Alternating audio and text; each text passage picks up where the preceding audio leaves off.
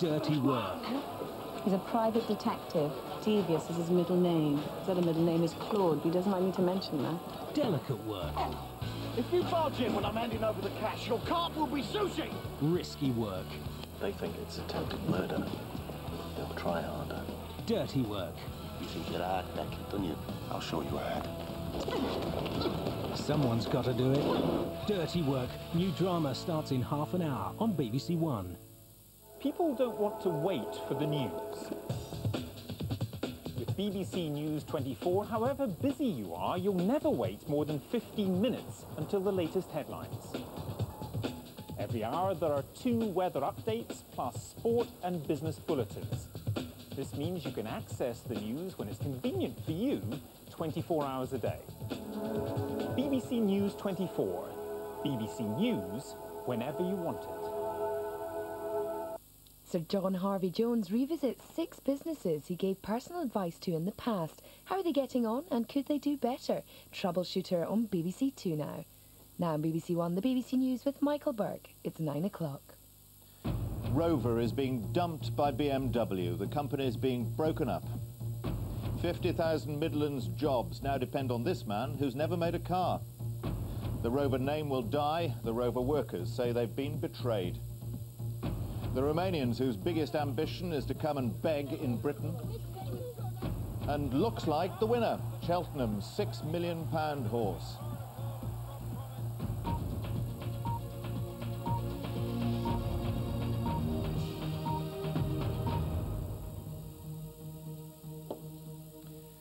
Good evening. BMW is dumping the Rover Group after six years of mounting losses. Thousands of jobs are likely to go. The unions say it's the bleakest day for British manufacturing. This is how Rover is being broken up. The biggest factory at Longbridge in Birmingham is effectively being given away to a city investment firm called Alchemy. They'll scale down operations, continue to make Rover cars, but call themselves MG. The Land Rover business based at Solihull in the West Midlands is apparently to be sold. It's said to a big American car company like Ford. That's a real surprise. BMW is keeping the plant at Cowley near Oxford and will make the new Mini there. And BMW is also going to keep the body plant at Swindon.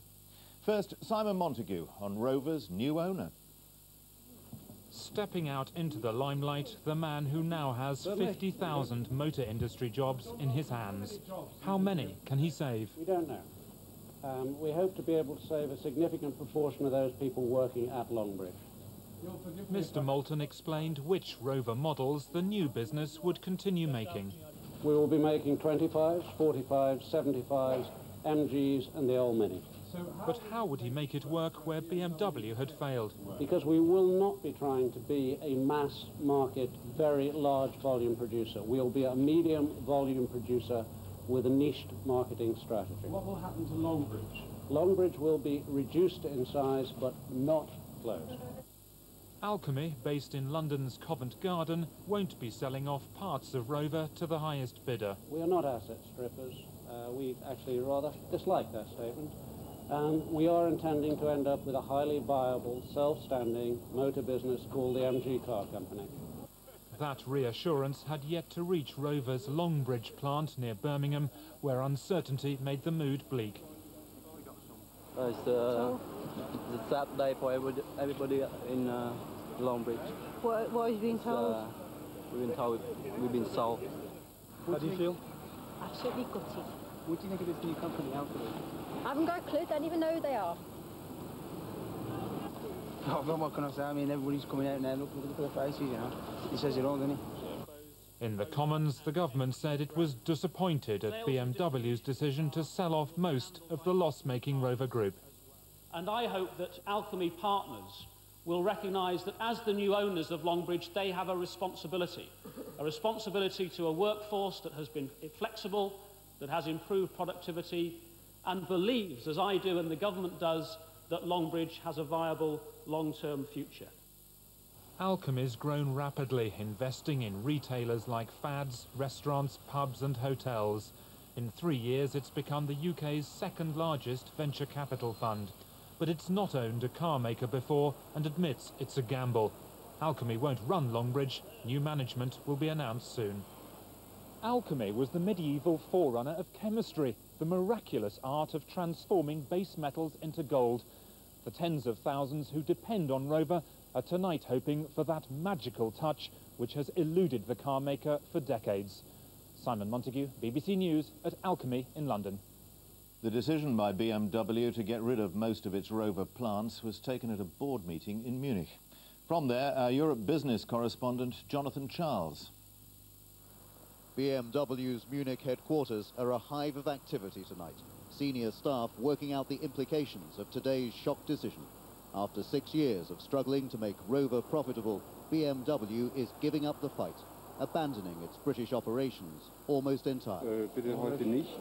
A brief written statement this afternoon was all that marked the end of an era, the only public comment BMW is so far willing to make. Thousands of jobs are at risk, but the German carmaker is refusing to offer any proper explanation. What I can uh, tell them is that we think that it's going to be taken care about their future. But everything else, please read the press release. British union officials emerge from talks with BMW's management clearly furious. It seems it's not just car production which is being sold off, but the prestigious and profitable Land Rover division as well. The unions are threatening strike action. All in all, it is the biggest betrayal of British industry that has ever taken place in history. And that's why, as unions, we've got no choice. We've got to oppose the proposals, and unless they're changed, we will be in dispute with this company. BMW has lost a fortune because of its link-up with Rover. Since it took over in 1994, BMW has been investing about half a billion pounds a year. But over the same period, Rover has been losing hundreds of millions, a heavy drain on its German parent. At BMW's factories, German workers believe their company is now acting for the best. Rover's troubles have been tarnishing BMW's image. The money needed to prop up the loss-making British subsidiary could be invested more profitably in Germany. The final straw for BMW was the high value of the pound, 50% stronger than six years ago. It's impossible for Rover to compete in international markets. The cars are too expensive. With the pound sterling increasing to the Deutschmark, uh, the situation has was getting worse by the day, and uh, I think they lost hope to get the problem solved within a reasonable time frame. Rover's Munich showroom highlights another reason why BMW took fright. Apart from Land Rover, the existing range appears old-fashioned. Massive investment would soon have been required for new models. But now, gleaming luxury BMWs have proved more attractive. Money invested here virtually guarantees big profits. BMW has had its fingers badly burned. Rover was known here as the bottomless pit. No matter how much money you threw into it, it was never enough. Few at BMW will be sorry to see it go. Jonathan Charles, BBC News, Munich. Both Rover and, to a lesser extent, BMW are victims of huge changes in the global car market. Mergers mean fewer companies and give the biggest firms advantages over the smaller ones. It all looked friendly enough in 1994. The man on the left ran British Aerospace, which owned Rover. The shrewdest thing he ever did was sell it to BMW, which thought it needed it to move into the top league of car makers. At the time, BMW was doing very nicely, making luxury cars and good profits. But the market was changing, so only manufacturers who made the full range would thrive. And now, without the full range, BMW is prey to bigger companies. I think this decision shows that BMW is weak. They're not able to stand the losses. They need to have every pfennig available to meet the competition around the world. And they now become a very small player without Rover. They're very vulnerable, and I think as an independent player, BMW day, BMW's days are limited. Once there was the Ford Anglia, a British-designed, British-made car, sold only in Britain. Every big European country had its own distinctive cars made by the two big American companies, Ford and General Motors. But tastes now cross boundaries, and the Mondeo, the world car, is the way it goes. Made in each continent, global taste, global production. Cars demand huge investment in technology for uncertain gains years ahead, so the need to spend big means only firms with large funds can get ahead in mass markets and get the time down from drawing board to forecourt. In the short term, it's not that difficult to make money from making cars. The big costs are in the design of the car. So it won't be tonight's bitterness in Birmingham that does for BMW, but the economics of the car industry. Mazda, Jaguar and Volvo got gobbled up by Ford. Can BMW be far behind? Stephen Evans, BBC News. Well, our political editor, Robin Oakley, joins me now from Westminster. Robin, all this seems to genuinely have come as a complete surprise to the government. Yes, the government's been caught cold, Michael. Ministers have been working closely with BMW, trying to get an aid package approved in Europe. They're astonished at how little they were told. They had to find out for themselves that the BMW company was talking to Alchemy. Uh, BMW didn't uh, tell ministers anything about that. This morning, the Prime Minister's press secretary was confidently saying there'd be no deal today, and they expected BMW, for example, to keep hold of Land Rover. Uh, Frank, uh, Steve Byers, the Trade Secretary, had talked of disappointment and regret, but really ministers are spitting blood over this. It's not the 70s now, uh, Robin. How much taxpayers' money is the government uh, willing to risk on saving Longbridge?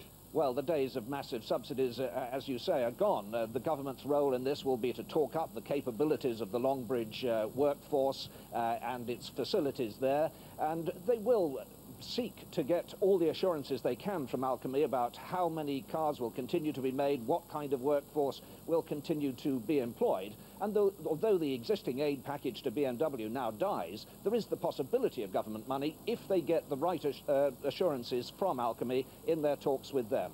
Robin, thanks a lot. The government's been explaining how it plans to link welfare and work. It's setting up a new agency which will combine large parts of the Benefits Agency and the Employment Service. It'll serve 10 million claimants, paying benefits and encouraging people back into jobs. The government says it'll make sure that all people who can work do so. For the unemployed, a revolution that will make you independent. That was the Prime Minister's promise today with a new agency bringing together welfare and work. On a small scale, the new approach is being tried out in the One project here in North London. So, give me an example. What type of work are you really looking for? Francine's advisor will organise training, set up job interviews and deal with her benefits. The aim is to get her off welfare as fast as possible. He asked me about training and my CV, but the main thing is, would he find me a job?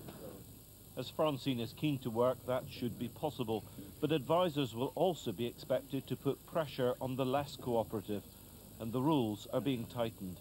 There are certain situations where we will have to be a bit more um, tougher in the way we actually deal with clients, but clients are made aware of their obligations regarding to the benefits that they're claiming for. Um, if they're claiming for job seeker allowance, they know they're expected to look for work. And obviously, if they're not doing that according to what they've agreed to do, then we will have to take action. Just a few years ago, it would have been unthinkable for a Labour government to link benefits and work in this way. But this is the future, a one-stop shop where the staff who organise the payments also steer their clients towards work. And to receive benefits, everyone must talk jobs. With a million vacancies in the economy, the ministerial message is unequivocal. In the past, people had to go to several different places to get the advice and help they needed. From now on, there will be one door they can go and get the advice and help they need because the government strongly believes that where people can work, they want to work, that they should be working. Easterhouse in Glasgow, where jobs can be hard to come by. On estates like this, the fear is coercion is coming and that the vulnerable may be dragooned into low-paid jobs, a charge ministers deny. But some of the young and able-bodied who already must accept jobs or training are sceptical too. I think the fact that they're trying to force employment on you that is not suitable and they can throw any wage at you. If you don't agree, you're going to be flung into the streets anyway. So I think it's absolutely rubbish. If it's to succeed, the new agency will have to be tough with some claimants, but sensitive with others for whom work is not a practical option. Achieving that balance will not be easy. Neil Dixon, BBC News, North London. Western governments have been appealing to the oil-producing countries of OPEC not to force oil and petrol prices any higher. Today, the European Central Bank raised interest rates because of worries that high oil prices will lead to inflation. The cost of crude has nearly trebled since OPEC agreed to cut production last year. This time last year, a pact was sealed here in Vienna. The oil price was so low that the big producing countries belonging to OPEC, even those notorious for cheating, agreed to a huge cut in output. Oil producers outside OPEC, like Mexico, were also part of the agreement. But now Mexico thinks today's high oil prices are hurting its economy. Its energy minister warned that if OPEC countries failed to pump more oil, Mexico would consider doing so on its own. We think that uh, there should be an increase and uh, we're determined to, in the case of Mexico, we would like to see a consensus, but uh, we're also determined to follow uh, what's best in, uh, for our national interests.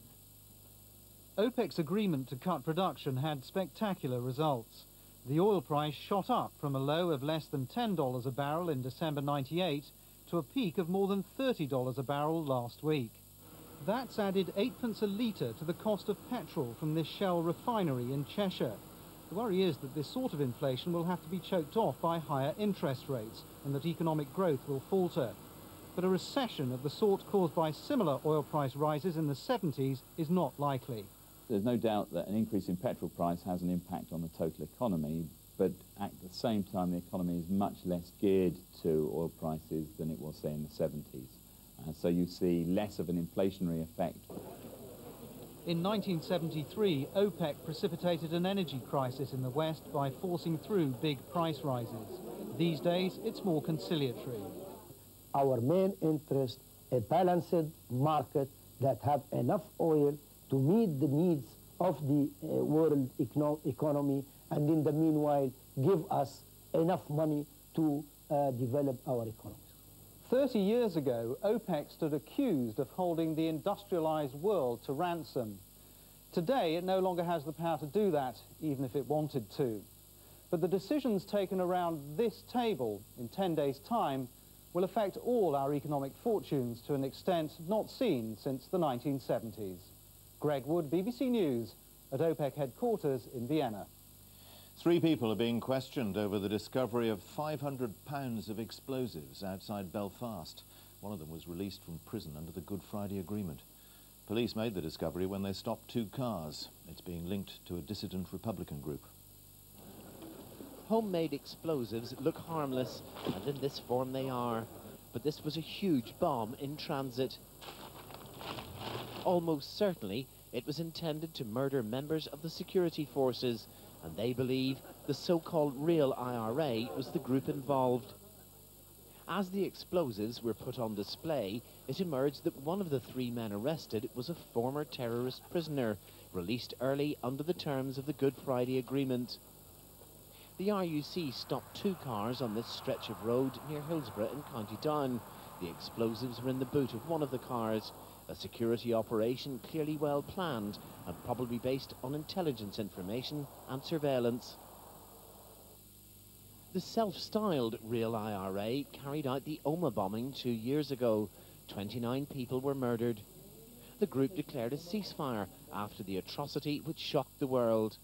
Now, though, that ceasefire would appear to be over, though the few members of the group have yet to admit it. A major bombing has been prevented, and with most Northern Ireland political leaders in Washington discussing the problems in the peace process, the attack was not just intended to murder, but to try and wreck the process itself. Dennis Murray, BBC News, Belfast. The Court of Appeal has cut the record fine imposed on the Milford Haven Port Authority for the Sea Empress oil disaster from £4 million to 750000 More than 72,000 tonnes of crude oil poured into the Milford Haven estuary off the coast of West Wales in 1996 after a mistake by a port official. The judge said the fine threatened to bankrupt the port. The use of electronic tags to monitor offenders is to be extended in England and Wales. The tags will be used to stop them travelling to certain places, as well as enforcing home curfews. The Home Secretary, Jack Straw, said police would also be given the power to test offenders for drugs. The chairman of the trust that runs Alder Hey Hospital in Liverpool has been forced to resign after the hospital admitted it had lost the heart, brain and lungs of a 10-year-old boy who died at the hospital. An inquiry into the removal of organs from 800 children without their parents' consent is already underway. More and more Romanian families are begging for money on Britain's streets. They've been accused of being professional beggars. They say they had no choice but to flee wretched poverty at home. Now, in southern Romania, the international outcry against gypsies has stirred up racism against the gypsy population in their own homeland, as Orla Guerin reports. They call him the Spanish one, though he has never been out of Romania. This man is a gypsy millionaire and proud of it. But his gold came from trade, not begging. His home is a castle, but few gypsies live like this. Instead, most dream of better things. Even the children in this village have heard about the good life to be had in Britain. Constanza is just 14 and soon to be married. Her nickname is Anglia, or England, and she told us that's where she's headed. Nine of this family have gone abroad. Nikolaya told us one of his daughters is begging in London with her five children. Here, that is no shame. She went because she heard they were giving them money to live on there. But the money isn't enough, so she begs. She went illegally. She almost drowned with her children. Only God knows how she got there. Most of the Roma people here are dirt poor, and many are not just ready but able to get out. Borders, it seems, are no obstacle. We were told 80 families have already left this small village for England. Ramon has his passport ready, though he told us he would leave illegally. He said the price to go west was less than £200. To give his new son Christian a future, he is more than happy to pay it. When you live in a place like this, you have every reason to want to escape. And for many, a life of begging and benefits in Britain is the best escape on offer. This traffic will be hard to stop. And though there is no welcome abroad, the gypsies say leaving is a question of survival. Orla BBC News, Southern Romania.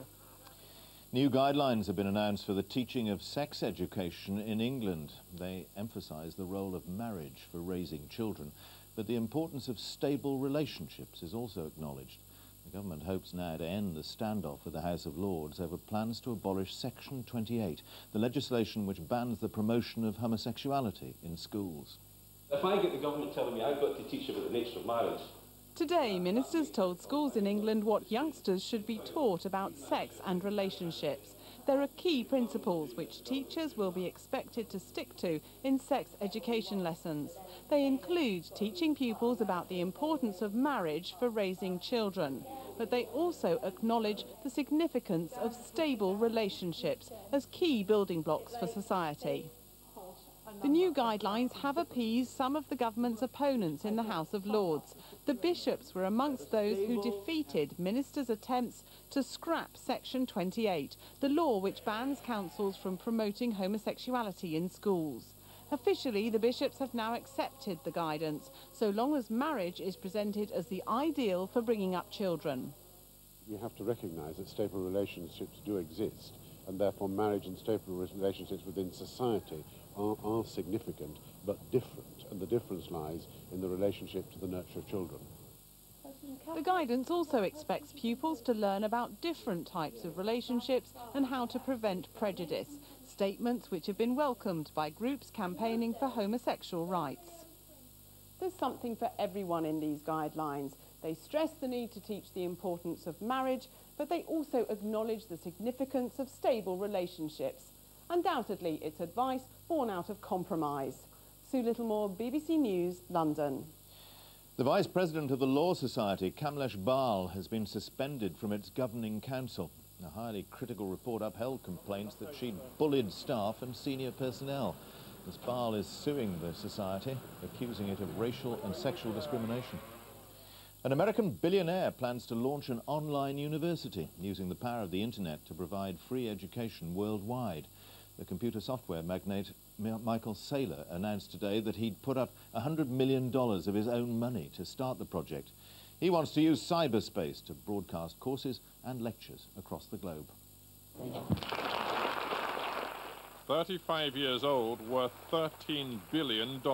High-tech genius Michael Saylor has the means to turn grand ambition into reality. As of today, I'm committing $100 million for this cyber This 21st century philanthropist is um, planning a worldwide cyber university open to all and with the world's greatest minds as teachers. Why not actually have all these famous people give the lecture for 40 hours in streaming video and make it available to everybody everywhere for nothing? His admirers call him a visionary, but I wondered, can his plan work? You know, some folks might say you're a raging egomaniac. This is more about you than it is about your project. What would you say to them? Well, I mean, I- if I wanted to do something with $100 million to feed my ego, I could think of other things to buy with it. Uh, the truth of the matter is, I'm, uh, I am very passionate. I'm passionate because I fanatically believe the world could be better than it is, and it makes me mad that it isn't. And in this particular case, I just like to see education free for everybody. Well, it isn't at Georgetown University, where it costs £70,000 to get a degree. In much of the world, higher education is expensive and requires attendance at a bricks and mortar campus. But interactive learning on the internet may be the future. Once you open up those floodgates to the world, uh, you know, what people usually perceive to be the kind of monopoly on knowledge production or monopoly on, on information that traditionally goes to higher ed, I mean, that's all going to break apart. It already is breaking apart. And that's one of the things that universities find very threatening. American universities are dabbling with internet tuition. Britain has its Open University, where distance learning is well established. But in 25 years, higher education could look very different.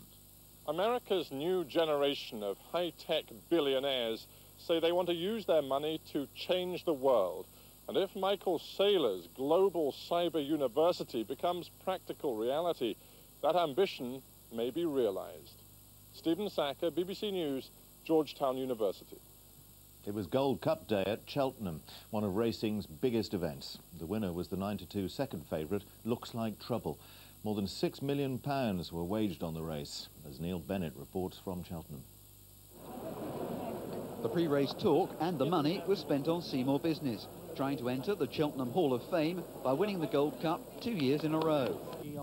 It was a gallant attempt as Mick Fitzgerald on See More Business tracked Gloria Victis for most of the three miles.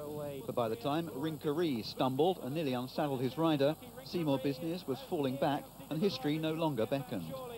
The race ended for Gloria Victis two fences from home with a nasty fall, and the horse later had to be destroyed. It left the Irish hope Florida Pearl to fight it out with looks like trouble on the run-in. The dry, fast conditions were perfect for looks like trouble, and he came home in style to give trainer Noel Chance his second Gold Cup winner.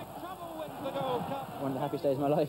I mean, very to, to win this race is every, every jockey's dream, and um, just delighted. Quite something to train one Gold Cup winner, but two, well, that's special, isn't it? Well, you know, once you have the horse, you can, you know, anyone can do it. But it's nice to do it twice. The Queen Mother presented the famous Gold Cup to the winning owner, Tim Collins. The climax to another three days of memorable national hunt racing. Almost as pleased as the connections of Looks Like Trouble are the bookmakers here at Cheltenham. They were dreading another win for the favourite, and for them, the festival has ended happily. Neil Bennett, BBC News at Cheltenham. And the main news again tonight, Rover is being dumped by BMW. That's it, that's the latest from the BBC Newsroom this evening. Good night.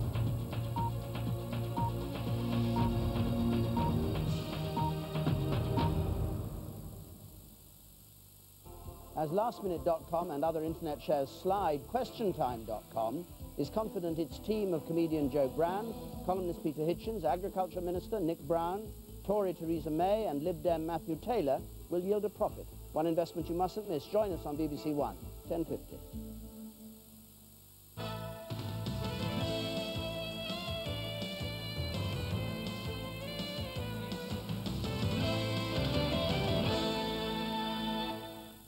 Good evening. The chairman of Alder Hey Children's Hospital has been sacked. The Health Minister, Lord Hunt, demanded Frank Taylor's resignation when he learned that the hospital had lost the organs of a baby boy. Our health correspondent, Claire Smith, has the latest development in the scandal over organ retention.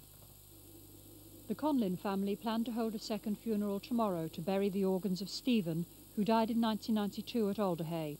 But last night they were told the hospital has lost and probably destroyed the organs they took without the family's knowledge. I'm very bitter towards the hospital on the organ side. I mean, I know they've saved lives and everything else, but what they've done here is totally, totally wrong. Frank Taylor, Alder Hey's chairman, is the first executive from the hospital to be sacked since the scandal broke last summer. Now Lord Hunt, the health minister, has promised more heads will roll if necessary. I think that the parents concerned have a great deal of sympathy owing to them, and I am very distressed at what has happened. I'm determined we get to the bottom of it. Hundreds of parents who've been told the hospital took organs from their dead children are still waiting for the Department of Health inquiry into the matter. Now Lord Hunt has promised the investigation into what happened to Stephen Conlin's organs will be made public too. The operators of the Trafford Centre shopping complex have been fined £100,000 in order to pay legal costs after the death of six-year-old Samuel Adams at the complex 19 months ago. Manchester Crown Court was told the centre had opened to the public before adequate safety management systems had been put in place. Ralph Blunsome reports. On the 10th of October 1998, Samuel Adams went with his parents and cousins to visit the Trafford Centre one month after it officially opened. The six-year-old had been playing on the stage in the Orient dining area. A section of removable barrier stacked at the back of the stage fell on him, and Samuel Adams was declared dead at Hope Hospital that evening. The company had already pleaded guilty to failing to ensure the safety of the public under the Health and Safety at Work Act. Today at Manchester Crown Court, a judge described it as a serious breach resulting in the avoidable and unnecessary death of a young child. Outside court, Samuel Adams' parents gave their reaction. £100,000, it may well seem a lot of money to you or I, but to a, a multi-million pound organisation like that, it really is a, a, a fairly trivial amount. The court heard the railing that fell weighed 18 stone and required four people to move it. The prosecution said when the centre opened, no adequate risk assessment had been carried out relating to the barriers and how they would be stored. A man's being questioned by police over the murder of a baby in Cumbria 10 years ago. The baby boy's burned remains were found on the Red Hills rubbish tip. This morning, a man in his 50s was arrested at Egremont in West Cumbria. He's been taken to Barrow Police Station, where he's still being questioned. That said, we're back in Breakfast News from 6.25 and Ceefax page 160, of course. Here's David Braine with the weather. Good night. Good evening to you. Earlier this week we had some quite pleasant sunshine and some pretty respectable temperatures as well. Today we've not been quite so lucky. A lot of cloud has filtered across a large part of the United Kingdom, so we've had a massive range in temperatures. Up in the northeast, Bournemouth had temperatures as high as 15 degrees Celsius. The Channel Islands, Jersey for instance, with the wind off the sea, had no higher than 9 and the cloud that produced the holes that allowed the temperatures to perhaps get up to 15 degrees today is going to fill in again overnight tonight and cause us problems tomorrow. You can see there's a lot of cloud on our satellite sequence here, and that cloud will be around for much of the night. It'll help hold temperatures up. It'll also be around for a large part of tomorrow as well. So that's our forecast for the overnight period. Perhaps that cloud thick enough for a little bit of rain, western Scotland, the hills of Northern Ireland, North Wales and the northwest of England. Temperatures in the range of 3 to 6 degrees. I think you'd be very unlucky to see any frost for the overnight period with the amount of cloud we've got right now. High pressure firmly in charge, although it does give some sunshine, but unfortunately at this time of year we do got a lot of cloud trapped underneath that area of high pressure. And a weather system will try to move in from the northwest to add a bit more cloud as we move through into the middle part of the weekend. Winds light and generally quite variable to the south. I think we'll probably see a little bit more wind in the far north, but we're going to have light winds, I think, for the next couple of days with that high pressure so close by. And tomorrow morning it's going to be a rather dull grey start. Not a great deal of brightness, not a lot of sunshine, perhaps just a little bit trying to get through some of that cloud. Perhaps a better chance to see that sunshine through the afternoon. But more cloud moving into the far northwest of Scotland. That cloud certainly thick enough to give some outbreaks of rain. Here we're looking at temperatures at around 10 degrees. Further south, if we do see the holes, maybe 14 or 15. Otherwise, typically around about 12 degrees for a large part of the United Kingdom. That's Saturday's forecast. Once the band of cloud moves a little bit further south, there could be some quite nice sunshine in more eastern areas. And as we move into Sunday, more weather fronts moving in from the west means more cloud for some of the more western areas. Have a good evening. Want to know what we're doing in Sydney, Australia? Find out on Saturday. Casualty. Down under. Being a ghost isn't easy. Could I borrow your body for a night, please? There's rigorous training. I haven't quite got the hang of this sticking to things yet. Maintaining your ghostly street cred. We want you to be a powerful, smart, sophisticated ghost about town. And helping your best mate solve mysteries. A bomb? Well, untie me then, Martin. Can't, can I am a flaming ghost? Drama to die for. Maybe he's an angel. Randall and Hopkirk deceased. New drama starts Saturday at 8.55 on BBC One. More new drama for BBC One. It's dirty work with language to match, but Neil Pearson's just the man for the job.